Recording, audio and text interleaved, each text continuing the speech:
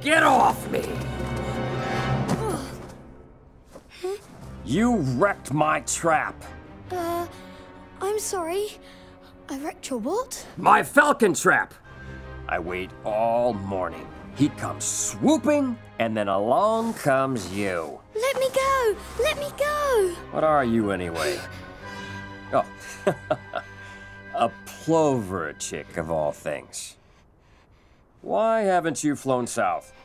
I got left behind. Hmm. I wonder why. Well, on the plus side, kid, you've learned life's greatest lesson. Nobody cares.